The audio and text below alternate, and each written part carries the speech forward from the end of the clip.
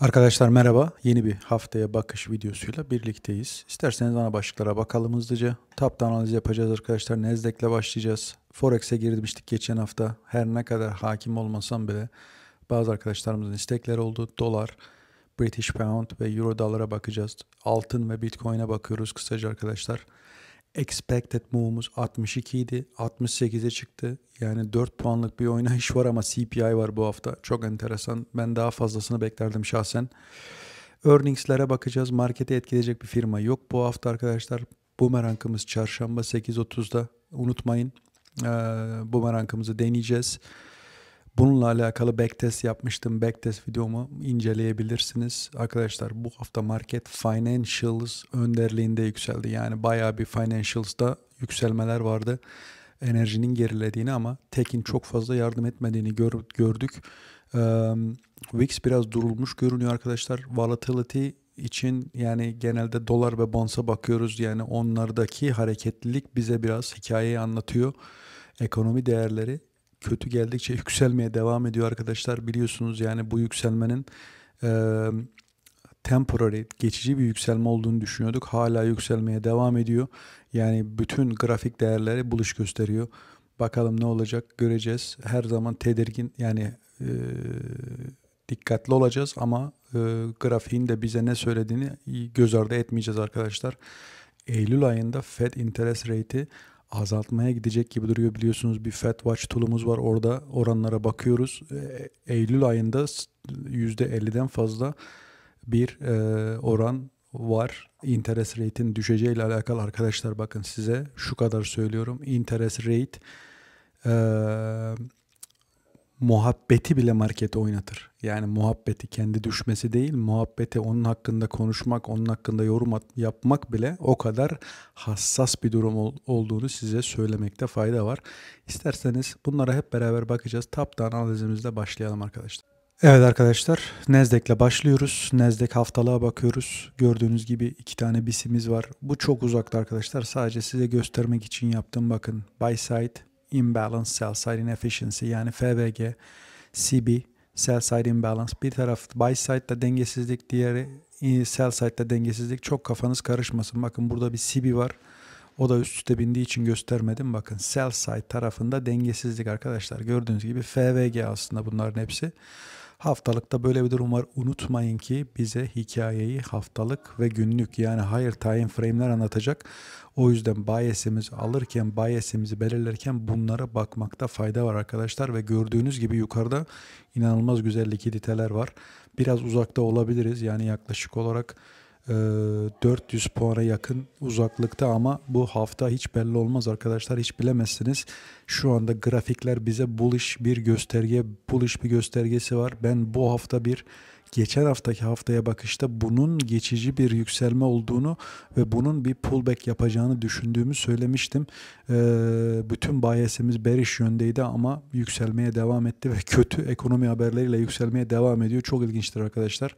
Şu anda ve unutmayın haftaya bakışta geçen hafta söylemiştim. Bütün grafik ibareleri e, bullish gösteriyor. Bullish breaker'larımız var çoğunlukla her ne kadar bias'imiz bearish olsa da demiştim. Şu anda da aynı şekilde arkadaşlar bullish bir sentiment yani bullish bir grafik görebiliyoruz. Çok e, net bir şekilde yani e, her ne kadar uzak olsak da bu likiditeleri göz ardı etmeyin arkadaşlar. Daily'ye geçtiğimizde bakın burada az önce göstermediğimiz volume imbalance'ın e, daily'de gösterilmiş hali weekly'lerimizi çektik. Buralar biraz uzak arkadaşlar. Bizim dikkat edeceğimiz yer bakın daily volume imbalance ve buradaki likiditeler arkadaşlar inanılmaz güzel bir likidite havuzu var burada. Bunu sakın ve sakın göz ardı etmeyin. Bize ne verecek grafikler bakacağız ama grafiklerin bize gösterdiği bu likiditeler arkadaşlar inanılmaz güzel likiditeler. Bir pullback olup öyle mi yükselir yoksa direkt o likiditeler almaya mı gider bakacağız. Ee, şu an için dediğim gibi grafikler tamamen bullish gösteriyor. 4 ee, saatliğe geçtiğimizde bakın 4 saatlik sibilerimiz var yukarıda. Yani e, daily volume imbalance'ımız var. Bakın burası gördüğünüz gibi 4 saatlikte burada oluşan bir konsolidasyon var ki yani bunu bir e, MMXM buy modeli gibi düşünebiliriz. e, şu an için biraz erken. Ve MMXM buy model arkadaşlar sell modeli fark etmez. MMXM modellerinde e, bize bir fikir olarak bunu verebilir ama bunu bu second stage distribution'ı belirlemek arkadaşlar yani belirlemek çok böyle e, zordur. Çünkü bir manipülasyon olacak e, second stage'den önce yani e, özellikle 400 puan yukarıdaki olan bir konsolidasyon için konuşmak şu an için çok erken ama orada bir konsolidasyon olduğunu kesinlikle söyleyebilirim ama bu 4 saatlik arkadaşlar e, dediğim gibi MMXM bir sonraki gün model olarak da söylenebilir. Yani genelde 2 günlük durumlardır bunlara baktığımız durumlar. Şu an için söylemesi söyle yani şu an için karar vermek çok erken ama buradaki konsolidasyonu da göz önünde bulundurun. Güzel likiditeler var arkadaşlar burada. Şimdi 4 saatlikten sonra 1 saatliğe indiğimizde bakın burada ben çok üst üste bindiği için sadece çizgi olarak gösterdim. Burada bir 1 saatlik CB 4 saatlik CB'nin alt tarafına yani alt e, yarısının alt tarafına denk geliyor. Burada bakın gördüğünüz gibi çizdik. Siz de bu şekilde üst üste binmemesi için bu şekil gösterebilirsiniz. Yani artık gördüğünüz gibi lower time frame'lere indikçe e, çok fazla üst üste binecektir. Yani siz 15 dakikalık sibilerimiz ve 15 dakikalık bisilerimiz burada ve 1 dakikalığa indiğimizde gördüğünüz gibi ilk hedef olarak bunları söyleyebiliriz. Ee, yukarıda higher time frame'den gelen dengesizliklerimiz var. Ee, ama dediğim gibi bize hikayeyi e, higher time frame'ler anlatacak ve do, günlük ve e, haftalığa baktığımızda bullish yönde bir grafik anlatıyor bize. Çok güzel likiditeler var yukarıda ama dediğim gibi göreceğiz. Her zaman ve her zaman pazartesi açılışını bekliyoruz. Reaksiyonu görüyoruz ve unutmayın ki dün e, Monday Magnet yani pazartesi mıknatısı modelimi sundum arkadaşlar. Yani çok basit bir model. Model hiç karmaşık değil. Sadece ve sadece e, New Week Opening Gap yeni açılış hafta gap'imizi çiziyoruz ve güzel bir pop bekliyoruz. Yukarı doğru veya aşağı doğru bir pullback bekliyoruz ki açılışta session açılışından sonra ilk 2-2,5 saat içerisinde bu pop'ın veya işte pullback'in tekrardan buraya dönmesi o kadar basit bir e, model arkadaşlar. Bazı günler bir sonraki gün dönmüş ama bizim hedefimiz her zaman her zaman pazartesi sabah session'ında New Week Opening Gap'e dönmesi arkadaşlar. Yani 4 aylık bir backtest sonucunda yüksek bir kazanım oranı vardı. Siz daha fazlasını yapabilirsiniz ama gördüğüm kadarıyla arkadaşlar yani yarınki bekleyeceğimiz olay o. Yarın bir pop mu paplama açılacak yoksa pullback'le mi açılacak göreceğiz. Eğer öyle bir güzel fırsat verirse bize Monday Magnet modelimizi kullanacağız. Şimdi isterseniz Nasdaq'ten e, Forex'e ve Forex'ten altın ve Bitcoin'e geçelim arkadaşlar. Evet arkadaşlar isterseniz Forex ile başlayalım. Ee, Forex, altın ve Bitcoin'e kısaca bakacağız. Çok aşırı derecede lower time frame'lere inmedim. Haftalık ve günlük zaten bize az çok hikayeyi anlatıyor arkadaşlar. Arkadaşlar ne demiştik geçen hafta dolar demiştik. Her ne kadar siyah yani kırm yani kırmızı yani düşüş görünmüş olsa bile ben bunun buluş bir hareket olduğunu geçen haftaki haftaya bakışta söylemiştim ve bunu bu konuda ne kadar haklı olduğumu hafta içinde gördük. Her ne kadar hafiften bir pullback yapmış olsa bile yani dolar bize geçen hafta hikayeyi anlatıyordu. Hatta birkaç trade'imizi dolar üzerinden aldık. Ee, dolara bakmaya devam edeceğiz. Dolarla marketler arasında ters orantı var arkadaşlar. Dolar yükseldikçe marketlerin düştüğünü göreceksiniz. Her ne kadar geçen hafta marketler yükselişte olmuş olsa bile bazı günler ne kadar volatile olduğunu ve değiştiği gün içerisinde günlük pullbacklerini görmüştük. Şimdi hafiften bir divergence olduğunu söyleyebilirim arkadaşlar. Çünkü dolar hala buluş gözüküyor. Marketlerde buluş gözüküyor. Yani hangisinin daha önce e, pes edeceğini, hangisinin bize hikayeyi daha önce anlatacağını göreceğiz. E, şu an için bana soracak olursanız bakın bir gün ne inelim. Bir günlükte de bana yani doların grafikleri e, grafiği e, bullish bir e, grafik olarak gözükmekte. Yani buradan aşağı doğru hareketlenme olur da marketler yukarı doğru çıkarsa o zaman değişik şeyler hakkında konuşabiliriz. Ama şu an için ben e, doların bullish olduğunu söyleyebilirim. E, çünkü bakın arkadaşlar günlük FVG'yi body'lerin nasıl respect ettiğini milimetrik olarak görüyorsunuz. Bu bullish bir harekettir arkadaşlar. Bu bullish bir harekettir ve gördüğünüz gibi günlük de FVG içerisindeki e, bu candle'ın orta noktanın üzerinde olduğunu görüyoruz. Bu da bir buluş bir harekettir arkadaşlar. Yani ben doların yükseleceğini düşünüyorum. Doların yükselmesi demek marketlerin düşmesi, Euro dolar ve GBP USD'nin de düşmesi demektir. Zaten Euro dolar ve GBP'de bearish bir hareket olduğunu şimdi göreceksiniz. Bakın şu anda Euro dolara bakıyoruz. Arkadaşlar görüyorsunuz.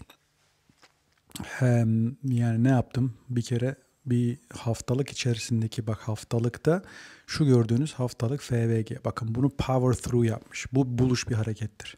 Ama geliyor günlükte bakın günlüğe indiğimiz zaman günlükte bakın buradaki CB'ye takıldığını body'lerin body'lerin geçmediğini e, geçmiş yani iğne dediğiniz o şeylerin geçtiğini görüyoruz ama bunlar kesinlikle bize e, bunun bearish olduğunu söyleyebilirim. Body'lerinde e, FVG'nin içerisine bile girmediğini görüyorsunuz. Bu bakın bir de ayrıyetten Haydan Lova bakın Haydan Lova Fibonacci çektiğimizde bakın bu Haydan Lova Fibonacci çektiğimizde orta noktasını geçmediğini görüyorsunuz arkadaşlar. Bu kesinlikle ve kesinlikle bearish bir harekettir. Euro dolarda aynısını GBP içinde yaptık. Bakın GBP'de de Haydan Lova çekip orta noktasını gördüğünüz gibi e, Wick'lerin e, damage yaptığını yani Wick'lerin dokunduğunu veya geçtiğini görüyoruz ki hikayeyi bize body'ler anlatır arkadaşlar. Gördüğünüz gibi CB'nin body'leri, CB'nin haftalık CB içerisindeki body'lerin üst noktaya respect ettiğini e, daily bu arkadaşlar mavi olan daily'ye Wick'lerin geldiğini ama reject olduğunu görüyorsunuz ki ve Haydan Lova çektiğimiz Fibonacci'de 0.5 yani orta noktanın altında olduğunu görüyorsunuz. Yani buradan söyleyebilirim ki GBP USD, Euro, Euro USD'nin de bir bearish bir hareket görebiliriz. E, dolarda bir bullish bir hareket görebiliriz ve dolardaki bullish hareket her ne kadar marketler Nasdaq bize bullish bir sentiment yani bullish bir hareket gösteriyor olsa bile ben e, dolara bakaraktan temkinli yaklaşmak ya devam edeceğim. Zaten ben geçen haftaki yükselişlerin çok sağlıklı yükselişler olmadığını düşünen birisi olaraktan şu an için bir bias belirlemek istemiyorum. Çünkü marketler Nasdaq için grafikler bullish gösteriyor. E, dolar ise bearish gösteriyor. Yani şu anda orta noktadayım. Ben pazartesi açılışı, pazartesi ve salıyı görmekte fayda var. CPI bize bu haftayı hikayeyi anlatacak arkadaşlar. CPI bize anlatacak. Göreceğiz. Şu an için ee, bunlar bu şekilde do bakın şu an altına bakıyoruz. Altının müthiş bullish olduğunu görüyoruz arkadaşlar. Ee, buradan gördüğünüz gibi daily'e indiğimiz zaman daily'de ne kadar bullish olduğunu görebilirsiniz arkadaşlar. Power through görüyorsunuz daily'nin e, body'lerin orta noktayı hızlıca geçtiğini görüyoruz. Ben doların şeyin altının yükselerek bu likiditelere alacağını bu hafta düşünüyorum arkadaşlar. Altındaki yükseliş devam edecektir. Bitcoin'e baktığımız zaman Bitcoin'de haftalık bir FVG'miz var. Burada bakın bu haftalık FVG'ye Wick'lerin respect ettiğini şu an için görüyoruz ama şu hareket tamamen bearish bir hareket arkadaşlar. İsterseniz günlüğe bir inelim. Bakın şu anda e, orta noktayı FVG'nin orta noktasını bunun body'lerin geçtiğini görüyoruz. Tahminim Bitcoin aşağı doğru devam edeceği yönünde. E, ben Bitcoin veya altı yani oynayan birisi değilim ama grafiğe baktığımız zaman hem bu FVBG haftalık FVG'ye olan hem günlük CB'ye olan ve e, günlük FIBI, BC içerisindeki hareketlere bakarak Bitcoin'in bearish olduğunu söyleyebilirim arkadaşlar. Ee, analizlerimiz bu kadar biraz hızlıca yaptım çünkü daha bakacak çok şeyimiz var. Ee, arkadaşlar yine bununla alakalı sorularınız olursa lütfen çekinmeden sorabilirsiniz Forex ile alakalı. Evet arkadaşlar filmimizde geçen haftaki S&P 500'ın performansına bakacağız. Bir haftalık filmiz.com'dan İsterseniz buraya nasıl geldiğimize bakalım. Bakın burası filmiz.com. Ben bunu option zamanlarında çok kullandığım bir siteydi. Çok faydasını gördüm. Buradan screener'ları var. Güzel bir şekilde stoklara bakabilirsiniz. Haberleri buradan takip edebilirsiniz. Ama ben bu filmimize şu anda sadece bunu ben Thinkorswim'de de görebilirim ama burada hem siz Thinkorswim'e e, ulaşım olmayan arkadaşlar için filmiz.com güzel bir e, site olacaktır. Bir haftalığa bakıyoruz arkadaşlar. Bu cuma günkü performansları. Bir haftalık performansa baktığımız zaman tamamen yeşil görüyoruz arkadaşlar. Bizi e, yukarılara doğru çekenin geçen hafta bize bu e, hareketi yapanın yüksek oranda financials olduğunu söyleyebiliriz. Bakın burada e, financials'ın e, yani bankaların bankaların yukarı çektiğini, bankalardaki yükselişi görüyorsunuz. Az sonra Thinkorswim'de de bakacağız zaten. Yani hemen hemen enerjinin geri çekildiğini yani bu oil dediğimiz oil'ın işte Oxy olsun e, bu tür firmaların kırmızı olduğunu yani benzin fiyatlarının düştüğünü geçen hafta görebiliriz. Bu e, inflation oranlarında birazcık hafiften gerileme olarak düşünülebilir. Bu hafta CPI var göreceğiz. O bu dolar bu oil'daki geri çekilmenin geçen hafta bu hafta devam edip etmeyeceğine bakacağız ve bunun CPI değerlerine nasıl etki edeceğini mutlaka göreceğiz. Ama baktığınız zaman genel olarak yeşil hafta bir, bir hafta gördük ve bu haftayı Financials'ın lead ettiğini yani onların sırtında Financials'ın sırtında bu kadar yükseldiğini gördük ve, ve Tekin çok yardımcı olmadığını gördük arkadaşlar. Bu hafta Nvidia'nın günlük 4-5% arttığı günlerden Nvidia'nın sadece ve sadece bu hafta içerisinde 1% yükseldiğini görüyoruz ki e, uzun haftalardır Nvidia teki resmen sırtında taşıyordu. Şu anda arkadaşlar hem Apple'ın, Adobe yani tekin çok fazla yardımcı olmadan marketlerin yukarı çıktığını ve bu marketlerin financials yani bankalar sırtında çıktığını görebiliriz. Bu bize zaten az çok hikayeyi anlatıyor arkadaşlar.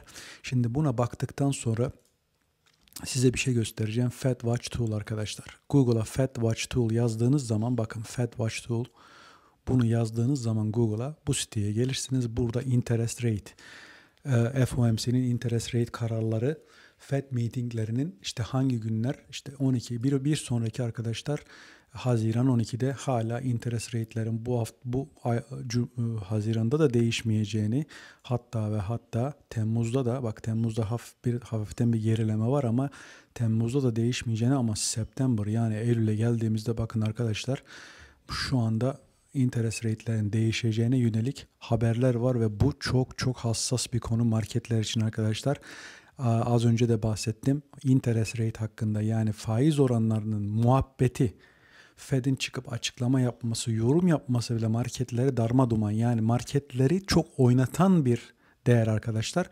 O yüzden bunu takip edeceğiz. Bakın September çok yakın Eylül ayında bir kod şey interest rate kat düşünülüyor.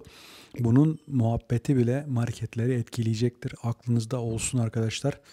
Ee, bu hafta dediğimiz gibi e, CPI değerleri açıklanacak 8.30'da arkadaşlar bakın bu Forex Factory Forex Factory Calendar yazdığınız zaman buraya gelirsiniz. Bunu okurken bir kere çıkacağınız yer arkadaşlar neresi? Burası. Bakacaksınız next week yani Mayıs 12-18 arasındaki haftaya bakacaksınız. Çünkü bunu mutlaka belirlemeniz lazım. Ben bir de filter yaptım. Bana sadece USD, Amerika'yı yani doları ilgilendiren şeyleri göster dedim. Onu da buradan filter yapabiliyorsunuz. Buraya bastığınız zaman burada bakın ben doları seçtim sadece currencies olarak. Diğerlerini seçmedim. Siz isterseniz seçebilirsiniz ve ilgilendiklerim kırmızı olanlar arkadaşlar. Bu kırmızı ne demek? Kırmızı high priority yani e, büyük ölçekli bir haber. Turuncu orta ölçekli bir haber. Sarı da çok yani böyle önemli bir haber değil. Ben genelde kırmızılara bakıyorum. Bakın salı günü PPI değerleri var. 8.30'da bumerangımız denenebilir. İşte CPI'da zaten deneyeceğiz. Çarşamba günü arkadaşlar unemployment claims Thursday Perşembe günü bakacağız. Bunlar arkadaşlar aklınızda olsun. Bu kırmızı olanlar bizim e, bu merakımızı deneyebileceğimiz haberlerdir. Bunları da göstermekte fayda var. E, ayrıca earnings'lere baktığımız zaman önümüzdeki hafta earningslerde bizim marketi etkileyebilecek pek bir earnings olduğunu gör, olmadığını görüyoruz arkadaşlar. Gördüğünüz gibi yani Walmart var. İşte Walmart genelde e, Dow Jones e, en, yani Dow Jones'taki olayları etkileyen S&P 500'ın içerisinde de olan bir firma ama yani çok o kadar büyük marketleri etkileyebilecek firmalar değil bunların hiçbiri. Home Depot gördüğünüz gibi bunların hepsi e, birbirine benzer retail olan şeyler. E, bunların marketleri çok fazla oynatacağını düşünmüyorum. Bunlara da baktıktan sonra son olarak isterseniz bir de Thinkorswim'e bakalım. Thinkorswim'de neler oluyor? Oradan ondan sonra da haftaya bakışımızı kapatalım arkadaşlar. Evet arkadaşlar Thinkorswim'deyiz. İlk bakacağımız şey SPX Expected Move. Yani bunu çok bilmeyen arkadaşlar için arkadaşlar SPX S&P 500'ın bir indeksi ve bu indeks options markette, opsiyon marketinde ee, çok çok çok önemli bir indeks arkadaşlar. Resmen marketi yönlendiren milyonlarca, milyarlarca dolar paranın döndüğü bir yer arkadaşlar. Bu e, expected move o yüzden çok önemli. Nasıl belirliyoruz? İşte trade kısmına geldiğiniz zaman buraya SPX yazıyoruz arkadaşlar. Ee, çok fazla Thinkorswim bilmeyenler arkadaşlar için işte Schwab satın aldı. Normalde bakın Schwab satın aldı. Banka olarak Schwab ismi. Ee, daha daha önce TD Ameritrade'e bağlıydı. Thinkorswim yazdığınız zaman arkadaşlar Thinkorswim buna ulaşabilirsiniz. Türkiye'den kayıt olunabiliyor mu bilmiyorum ama bir deneyebilirsiniz. Eğer kayıt olup bu programı yüklerseniz e, çok güzel bilgilere ulaşabilirsiniz. Çok güzel backtest için çok güzel bir çok fazla geriye gidebilirsiniz arkadaşlar. Ben bunu genelde backtest için kullanıyorum. Benim e, backtest yaptığım videolarda e, Thinkorswim kullandığımı göreceksiniz zaten. E, bununla alakalı da detaylı bir video çekebilirim. Şu an için insanların çok Türkiye'den kullanıp kullanmadığını bilmediğim için çok fazla zamanımı ayırmadım ama Thinkorswim için bir video düşünüyorum. Şu an bakın SPX'in gelecek hafta bakın Cuma günü ne zaman? Cuma günü 17 Mayıs. 17 Mayıs'ta ne kadar oynaması bekleniyor? Az önce söylemiştim 68 dolar arkadaşlar. Expected move'umuz bu. Volatility'miz 13.66%. 68 bizim expected move'umuz. Geliyoruz arkadaşlar. Ne yapıyoruz? Chart'ta diyoruz ki geçen hafta 5222 ile kapattı. Bunun üzerine 68 ekliyoruz. Top'ını buluyoruz expected move'un. Çıkarıyoruz. Bottom'ını buluyoruz. Bu kadar basit ve bunun arkadaşlar bakın expected move ne kadar önemli olduğunu bütün güne bakış, haftaya bakış videolarımda söylüyorum. Bunu mutlaka ve mutlaka göz ardı etmiyoruz. Bize çoğu zaman hikayeyi anlatır. Yani dedik ki geçen hafta 62 iken bu hafta 68 oldu. CPI olmasına rağmen ben çok fazla aslında değerlerin düşük olduğunu düşünüyorum. Bir günde bile ulaşılabilecek değerler bunlar. Bakacağız göreceğiz arkadaşlar. Bunu bilmekte fayda var. Dediğim gibi bunun belirlemesi trade kısmına gelip SPX yazdığınız zaman 17 Mayıs Cuma günü bize 68 dolar bu haftaki hareketin olduğunu söylüyor. Çıkarttığımız ve topladığımız zaman top ve bottom'ı buluyoruz arkadaşlar. Ee, haricinde isterseniz Futures'a bakalım şöyle bir kısaca. Ee, Futures'ta bize bazı değerlere bakacağız. Sadece size Bans'ı göstereceğim oradan arkadaşlar. Güne bakışta göstermiştim. Bakın TLT arkadaşlar Bans. Şimdi bu TLT'nin ne kadar önemli olduğunu size anlatamam yani. Bu büyük hareketler Banz'da istemeyiz. Bu bize normalde marketlerin hareketlendiğini, marketlerin bir şeyden etkilendiğini, çekindiğini gösterir ki perşembe günkü bu büyük hareket söylemiştim güne bakışta arkadaşlar. Bants'ı mutlaka takip ediyoruz. Altına bakıyoruz. Normal şartlarda bu altın da az önce değişti yanlışlıkla. Altının arkadaşlar nasıl buluş devam ettiğini, doların doların aslında beraber ters orantılı olmasına rağmen dolarla birlikte şey altınla birlikte doların hafiften yükseldiğini görüyoruz. Burada bir divergence olduğunu söylemiştim size güne bakışta. Arkadaşlar gördüğünüz gibi marketler yükselmeye devam ediyor. Bu yükseliş ne kadar sürecek? Bakın inanılmaz likiditeler var yukarıda. İnanılmaz likiditeler var. Yani Burak bu kadar yaklaşmışken böyle likiditeler varken ben şu anda her ne kadar dolar ve bonds bana e, bir bearish sentiment verse de Bu likiditeleri kesinlikle göz ardı edemem arkadaşlar. O yüzden ben bir pazartesi açılışa bakacağım. Ee, çok acele ederek bir yorum yapmak istemiyorum. Pazartesi açılış ve salı yani bir iki gün bize zaten CPI bize hikayeyi büyük ihtimalle anlatacak. Hangi yöne gideceğimizi anlatacak CPI. O yüzden bir pazartesiyi salıyı beklemekte fayda var bir karar vermeden önce. Dediğin gibi ben geçen haftalarda beriştim. Hala berişim ama dediğin gibi bana eğer ki grafikler bullish bir sentiment veriyorsa ve böyle likideler görüyorsam arkadaşlar kafamda her zaman bir soru işareti kalır. O yüzden bunu size göstermek istedim. Bakın arkadaşlar oil oil'daki düşüş, benzin fiyatlarındaki düşüşü görüyorsunuz arkadaşlar. Yani bu normalde inflationary bir harekettir ve inf- enflasyon de yani CPI değerleri açıklanacak bu hafta. Bakalım nasıl etki edecek. Bu oil'ın bu kadar düşmesi CPI'yi mutlaka etkileyecektir. Ama dediğim gibi bizde CPI'nin nasıl geldiği hiç önemli değil ekonomi haberlerinde bizim için değerler hiç önemli değil. Önemli olan reaksiyon arkadaşlar. Marketin nasıl reaksiyon göstereceği bunu tek, tekrar tekrar size hatırlatmak isterim. Yani cuma günü isterseniz bir de şuradan heat map'imize bir bakalım. Index watch'ımıza korelasyon nasılmış ona bakacağız. Ee, buradan S&P 500, S&P 100 seçeceğiz. Bakın arkadaşlar. 63.38 bizim cuma günkü çok correlated olmadığını söyleyebilirim. Bunun nedenlerinden en büyüğü ise e, yani oil firmalarının, enerji firmalarının e, yani financials'ın e, sırtında yükselen, geçen haftaki yükselmenin bazı sektörlerin buna e, yani yardım etmediğini görmüştük. Burada gördüğünüz gibi arkadaşlar 63-38 korelasyonun çok fazla olmadığını görüyoruz. Yani bu normalde bize ne anlatır? Ee, çok fazla yükselmiş olsa bile bu hafta boyunca çok fazla sağlıklı bir yükselme olmadığını gösterir. Normal şartlarda arkadaşlar eğer baktığınız zaman zaten volume'un yani e, hacmin de son haftaki son hafta hacmin çok normal ortalamanın altında olduğunu söyleyebiliriz. Yani bu bir divergence'tır.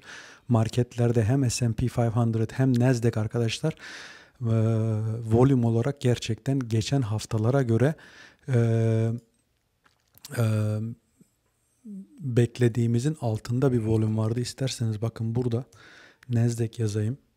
Beraber bir volüme bakalım. Buradan şuradan bir temiz bir tane seçelim. Buradan çıkalım arkadaşlar bakın.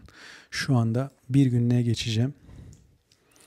Bir günlüğe geçtikten sonra indikatörlerden de volume açacağım arkadaşlar. Bakın şu anda açmadık galiba. Volume diyelim. Volume. Bakın arkadaşlar volume'un şimdi günlük açtım. Size yani çok net bir şekilde bakın bu haftaki volümü görüyorsunuz. Son 5 günkü volüm ve diğer avaraja baktığınız zaman volümün çok düşük olduğunu söyleyebiliriz. Yani dediğim gibi volüm yani eğer bir volüm e, hacim azken yükselme varsa bu bir divergence'tır. Aklınızda olsun dediğim gibi hem dolardaki bullish sentiment hem bandstaki hareketlilik hem de volüm bize az çok biraz hikaye anlatıyor. Benim dediğim gibi her ne kadar inanılmaz güzel likiditeler varsa olmuş olsa bile ben her zaman ve her zaman söylüyorum size bu yükselmenin çok sağlıklı bir yükselme olmadığını ama çok acil karar vermemek lazım. Bunu da tekrar tekrar söyleyeyim arkadaşlar. Ee, bu haftalık bu kadar. Bakacağız yarın pazartesi Monday Magnet modelimiz hiç oluşacak mı? New Week Opening Gap'imiz yani yeni hafta açılışından sonra bir pop veya bir pullback olduğu zaman New Week Opening Gap'e dönüş için bir trade almayı düşünüyorum arkadaşlar. Modelimizi uygulamayı düşünüyorum ama dediğim gibi şartların oluşması lazım. Yarın eğer ki şartlar oluşur ve trade alırsak paylaşırım zaten. Bu haftaki haftaya bakışımız bu kadar arkadaşlar. Ee, umarım faydalı olmuştur. Lütfen sorularınız olursa çekinmeden sorabilirsiniz. Eyvallah.